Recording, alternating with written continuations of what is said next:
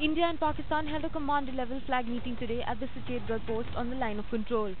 To defuse tensions on the border, another flag meet will be held at Poonch next week. The BSF is expected to discuss Pakistan's unprovoked firing on civilian areas.